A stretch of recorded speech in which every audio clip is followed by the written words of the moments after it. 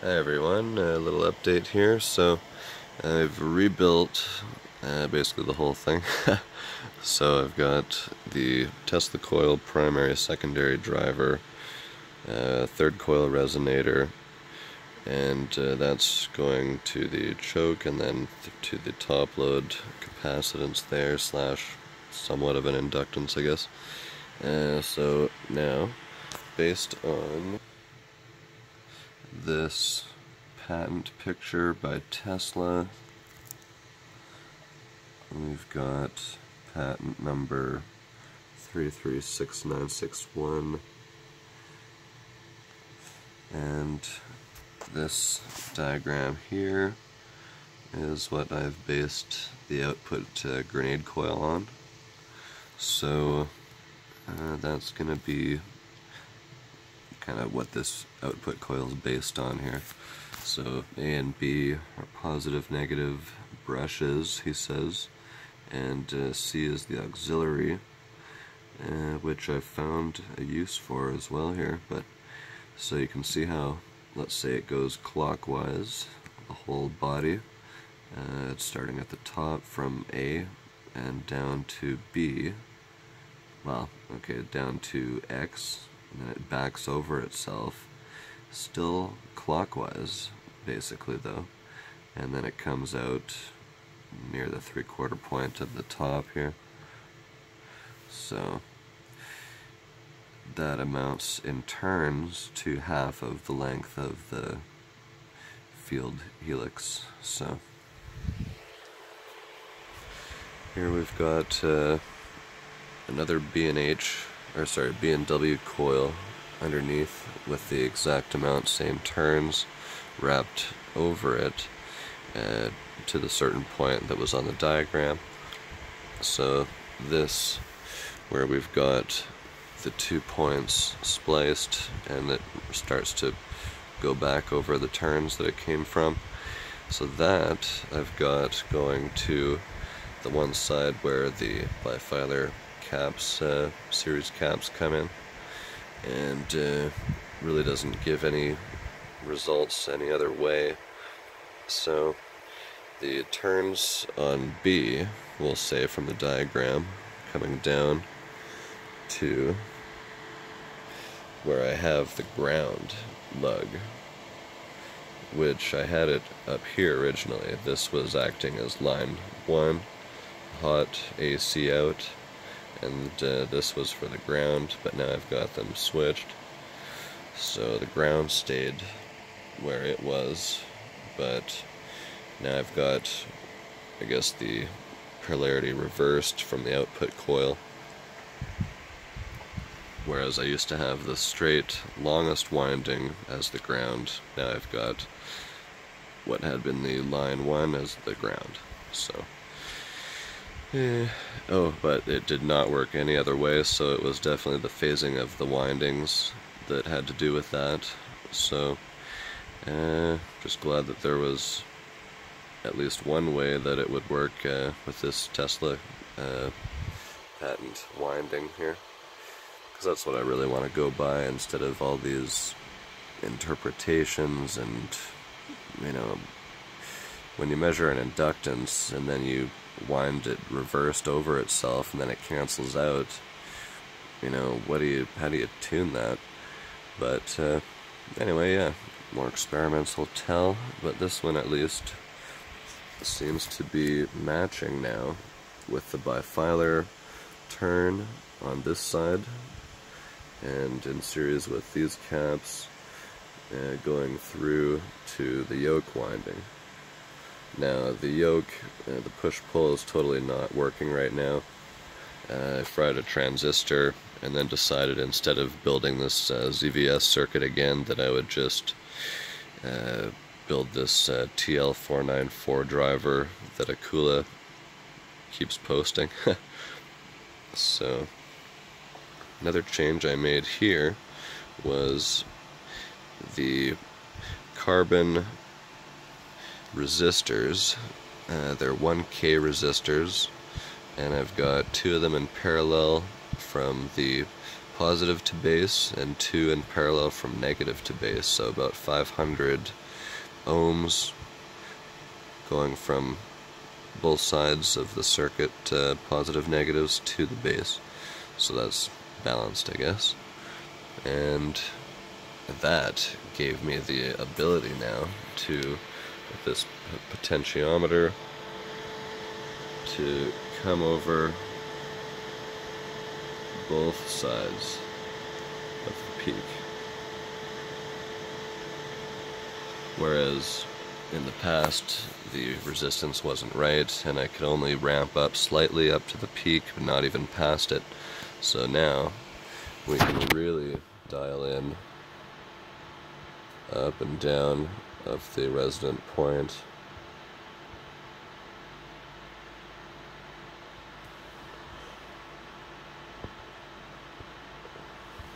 Okay, so here we've got 17 volts across the load and that was by accident because I realized that this was touching so where I've got this come down to line 1 was accidentally touching the side of the bifilar um, caps here. So here's when I remove it. Here's when I accidentally put it back on. Off. Back on. So, what a nice accident. So, we'll leave that jammed up to the side.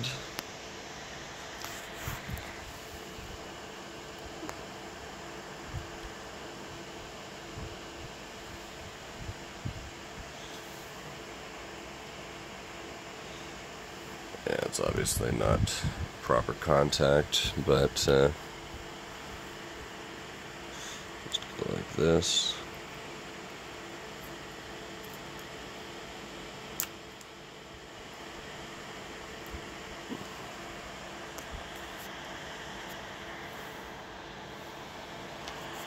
Okay. And it even pops up to 18 volts at times. Uh, but anyway, this is really nothing special. It's not full brightness, but I finally am getting a tune on this uh, output coil again, having rebuilt it. So, uh, yeah, we're gonna harvest this now and work with that, rebuild the push-pull driver, put that guy there, drive this by bifilar winding, which is now finally resonant with the Tesla coils, and uh, interesting here, we've got uh, just a regular radio. Turn off the system. So we'll switch on the radio. So there's nobody on this station.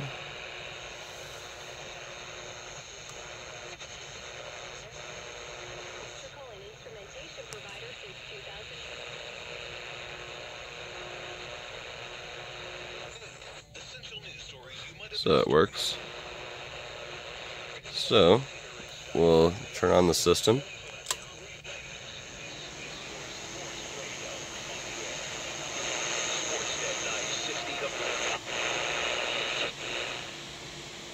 Hear that?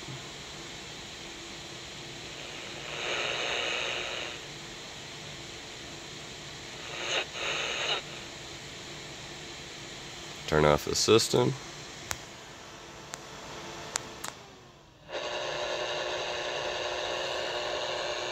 Back on.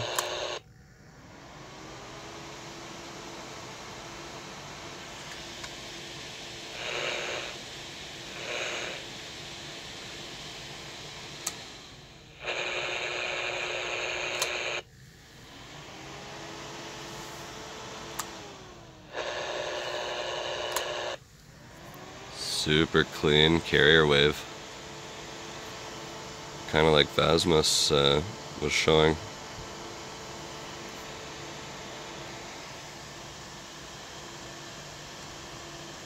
And uh, this is really behaving like Vasmus was showing actually how you could really tune over the peak and beyond.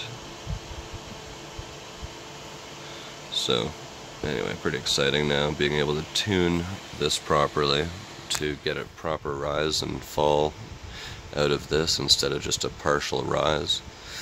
Um, and then this accident that I noticed here with uh, line 1 AC touching the bifilar caps here instead of the ground.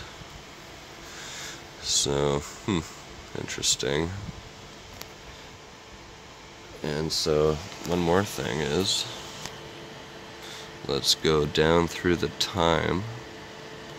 So let's say here, we've got about 1.25 megahertz, 1250 AM basically. and there's no one broadcasting there that I could see, so not interfering. Uh, so let's go now. That's our fundamental, or we're not, uh, we don't seem to get any more detailed waves out of this, so we just keep zooming in right on that wave. So that's the 1.25 megahertz. So let's leave it in this frame division and check it. Okay. So now let's go down in time. Still a repetition there. About 625 kilohertz, that's the half. Huh, neat. 250 kilohertz, we got a strong pattern. Another wave appears, 125 kilohertz. Pretty nice harmonics. This starts to get a bit jumbly, but let's go to see this. Uh,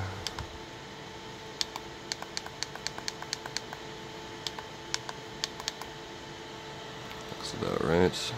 31.25 kilohertz, eh? That is right around where you see everyone tuning the grenade coil and the push-pull circuit. Hmm. So pretty interesting. Uh, let's target that for the final tune.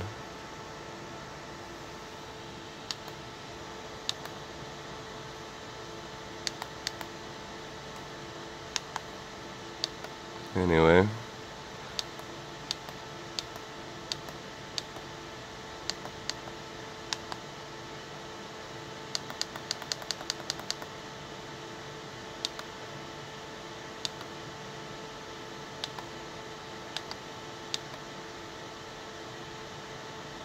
Yeah, right around there. So, just wanted to show you guys that before I added the uh, push-pull driver back. Just that I had rewound this, decided on some new coils here, which I have tried shunting at the uh, quarter point here, just to see if, uh, you know, it had a different effect here, but the voltage only falls um, if we shunt it at the quarter wave here. So you can see here, uh, there's really not much going on uh, if we've got the load on.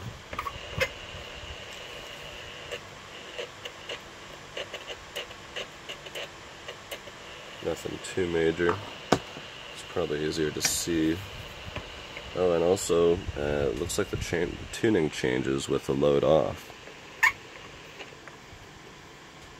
So we get that silent carrier wave back. And that sort of voltage appears back on the bulb. You can see this probe here start to rise and fall with the uh, number of turns. And then this guy, of course, it's all the way up. There's a full rise on this coil. So, but the voltage is much lower uh, without using every turn on this coil. So yeah, I'm pretty happy with how this is ringing. So now with that these harmonics have appeared from the you know nice spacing on the turns and no parasitic uh, capacitance that's uh, added on until you need it. Um, oh, another thing here would be when we pull off this this backed over portion. It's dropped about to 13. So with this back on, which is on the ground, or sorry, that's the new hot line.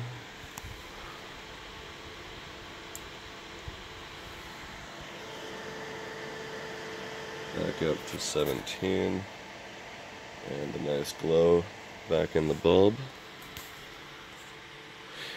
Anyway, so this is what we're working with, and I'm going to re-add that driver with the TL494 and full duty cycle and frequency adjustability. And it's to be sweet. See you guys and gals.